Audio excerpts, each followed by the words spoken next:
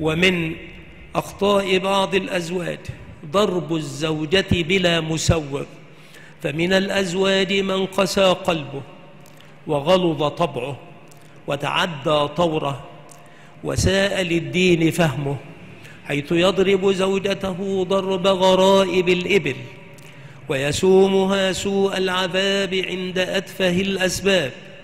وربما تستر بعض أولئك العتاة القساة بالإذن القرآني بالضرب ففهموه على غير وجه.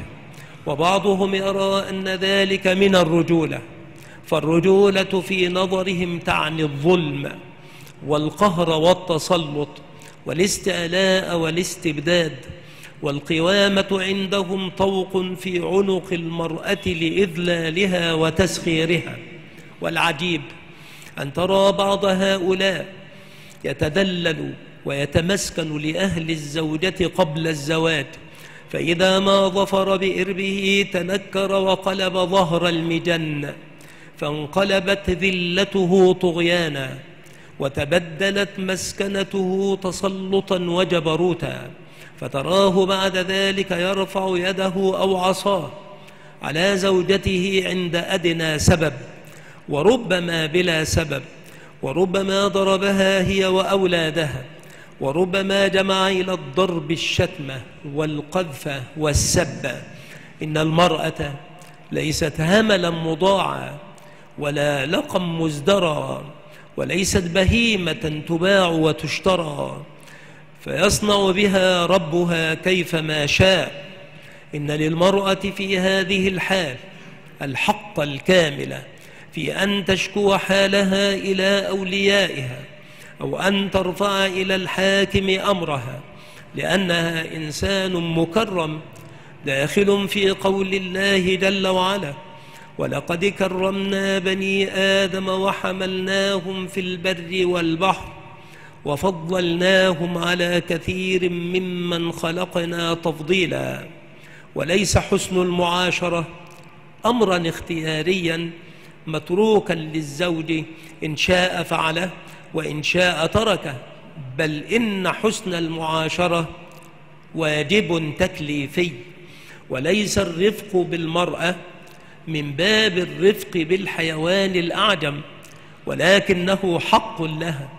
وواجب على زوجها فهي مكرمة مثله بالخلق السوي والصورة الحسنة والتقويم الحسن وهي مكرمة كذلك بالبيان والعقل وحمل الأمانة فهذه المزايا مشاعة بين الرجل والمرأة فمن أراد أن يعامل الزوجة معاملة الدابة أو السلعة فقد كفر نعمة الله وعرض نفسه للعقوبة.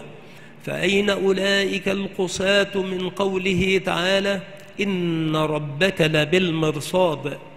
وأين هم من قول النبي صلى الله عليه وسلم إني أحرج عليكم حق الضعيفين اليتيم والمرأة؟ أخرجه أحمد وابن ماجه والحاكم وصححه ووافقه الذهبي وحسنه الألباني. وكذلك في قول النبي صلى الله عليه وسلم النساء شقائق الرجال.